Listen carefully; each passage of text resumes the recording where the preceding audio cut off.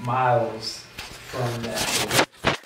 And so I was like doing the math to figure out with the rate that the lake was receding, how old would the structure would have been if it was built right on it. And it came out to around four, I think it was like 400,000 years old, which is like way before they said that people were building anything. And behind this site is a Pumapunku, which I actually didn't have any pictures of that one, but it looks like a, a dump yard.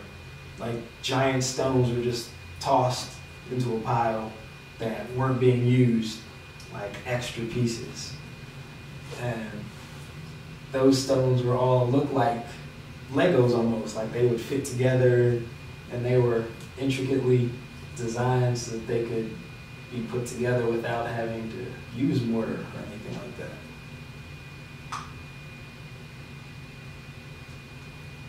Another site, Easter Island. Statues are pretty well known. Um, I watched a documentary where they were showing a whole bunch of people rolling them on the trees and putting them up. And I'll go along with that for now because they were able to do it. But um, my big issue is another spot where they have them, and they have these giant stone hats on their head. And you can't roll those on top of their heads. So they still had to have a way to get those up on top. They also said that the ancestors on the island, the elders, said that they were built by a holy man who could speak to the spirits, and that they all floated into their positions all over the island. And so that's how they were built, put up.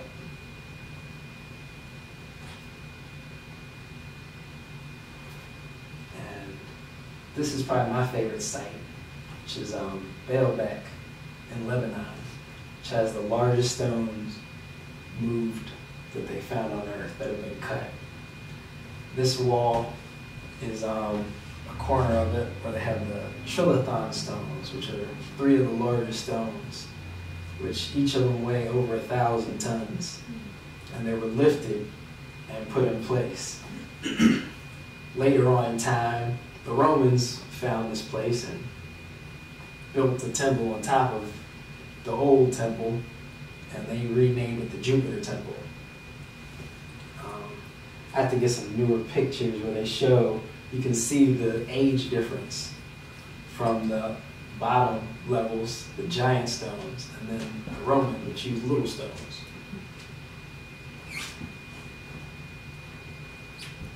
And this is the stone of the south, which is supposed to weigh around 1,300 tons, or yeah, 1,300 tons. And this is a short distance away from that temple. And they think this is where they were cut and moved to where they were built. And I actually just read that they found another stone that was even bigger than this one buried. So these are some of the biggest things.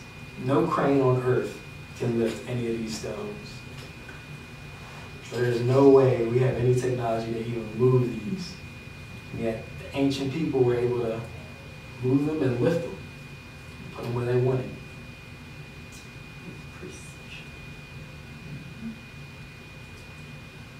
Some unexplained artifacts. The Olmec heads in Mexico, Baghdad Battery in Lebanon, the Star Iron Pillar, um, the Saqqara bird, model planes. Um, just go through and show those one at a time. So the Olmec heads, the oldest faces in Mexico, which are obviously black people. And I remember when I was younger, read something, I don't remember what that was, where an archaeologist said these are not actually people's faces. These are actually jaguars. And they just look like that, but they're really jaguars. Mm. These are not people's faces. A a new theory is that they had blunt tools, and so they couldn't make pointed noses and thin lips. So they messed up and made the faces look like black people. With braids, but Right. Right. Nice, intricate Helmets. designs on their helmets. Yeah. But yeah, these heads, we took a trip and drove around Mexico and there were heads all over the place. We drive through a little town and they would have one in the center of this town. Had nice little spots for them. It's just something they don't show. Is this at a museum?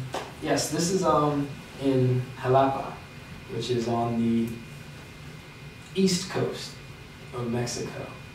Uh, this is in the Anthropology Museum there. They had several heads. The other one is um in my book. I didn't show that one, but it's the biggest one. Huge. I think it was a 60 ton head that they found, and all of these were giant found in the jungle, like where you would have to go through swamps and rivers to get these from where they were carved. And so scientists don't know how they were moved into the positions where they were found. Although I think all the heads were removed from where they were found. They all took them to different places. the Baghdad battery. Um, they found this and realized that they could create a battery with this. So they knew that just using like some lemon juice or some vinegar, you could create a charge with this. And they said they were using it for electroplating jewelry.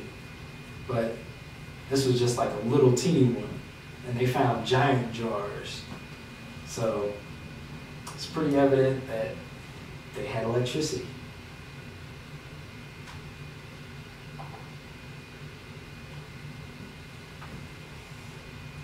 Um, the Sar Iron Pillar, um, this is in a mosque, in a courtyard of a mosque in India. And it's made of iron, wrought iron. And according to iron that we use, the age of this, because the structure around it has deteriorated or crumbled away mostly. And scientists don't know how this iron has not also just rusted away. They say that it was a smooth coating of an unknown substance since they can't find anything like this anywhere else in the world. So they're still trying to figure out how this iron is still standing today while the building around it crumbled away. The Saqqara bird, which is a model that was found in Saqqara. And at first it was thought to be just a toy, but it's been researched and we've done a bunch of documentaries on it where they've shown it does have an aerodynamic Like this is more like a model plane than just a plane or a bird. And the tail is one of the big issues because birds have tails that are flat, horizontal instead of vertical. And airplanes use that as their model. So that's one thing that showed that the ancient people did have knowledge of flight. It's another one, model planes that were found in Ecuador and Colombia. And actually just found out then that these model planes are on display at the uh, Metropolitan Museum of Art in New York. So they have these gold planes there. Mhm. And the fact that they're gold makes it pretty much undetermined about how old they are. Because gold doesn't tarnish or have any reaction to anything. So these are some ancient planes. They think they were probably around 10,000 BC, but could be far older than that.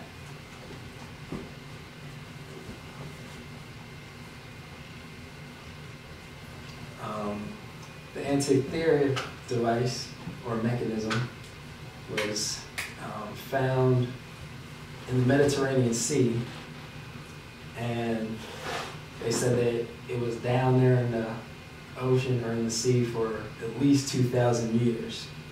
And they think this is a prototype computer, or it was used for computing and possibly guidance on some sort of vessel, where they think this is used to calculate star positions and constellations, and possibly used for some other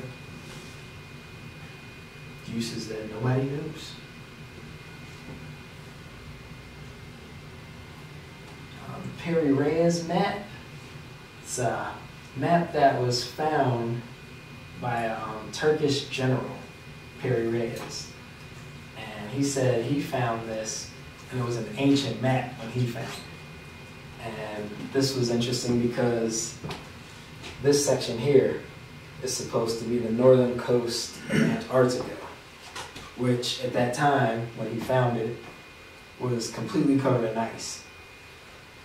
And it's just now starting to melt to where we could see where the actual coastline is. And this is supposed to be a very ancient map, which means that somebody knew where the coastline was before it froze over. And nobody knows exactly when it was free of ice last. Hmm. I was doing some reading where they have pyramids on Antarctica. Yep, I just read about that too. They found a pyramid down there. And sure they're gonna find a lot of stuff down there. Um, the Klerksdorp spheres were little balls that appeared to have been carved. And they were found in rock that was two billion years old. And South African miners have been finding these all over. And archaeologists are at a loss because of the age of the rock that they were found in. Like there weren't supposed to be any humans or anybody that could carve anything two billion years ago. So these are probably the oldest artifacts on the planet, at least that we've found so far. You say they find them everywhere, like all over the planet? Well, no, just in South Africa. Just in- Yeah, all over South Africa. You know? And so I'll do these real quickly. This is the last little section. So I looked at ancient space travelers, like stories and things from all over the world. Um, in Utah, the Anasazi, who were like in Colorado, Arizona, that area, the Mahabharata, which is a story from India. They talk about their gods. The Dropa stones, which are stones that were found in um, Asia. Um, Pakal, who was a king, they said he came from another planet, and his um, he has a city basically in Mexico. Um, Abydos, which is in um, Kemet, um, and one of the it's a city there. Um, they have them in Algeria, Australia, um, Uzbekistan, and then the Sumerians, which were in like Lebanon, all over the Middle East. So this is the picture from Utah, one of them where they have these figures that have like rounded heads with the big round eyes look like ghosts. They call this the ghost panel. They say these were spirits who came bringing knowledge. Mm. The Anasazi were a people who lived in, um, this is in Cal